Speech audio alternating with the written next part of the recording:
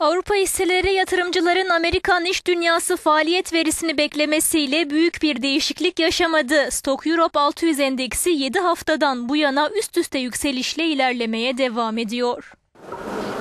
Amerikan ekonomisi 2014 yılı birinci çeyreğinde şirketlerin stokları daha yavaş arttırması ve yatırımlardaki düşüşle son 3 yılda ilk defa daraldı.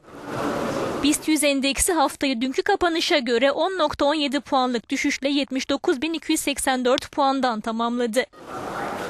Döviz sepeti Türk lirası karşısında değer kazandı. Euro 2.85, dolar ise 2.09'a yükseldi. Altının olsuysa 1242 dolardan alıcı buldu.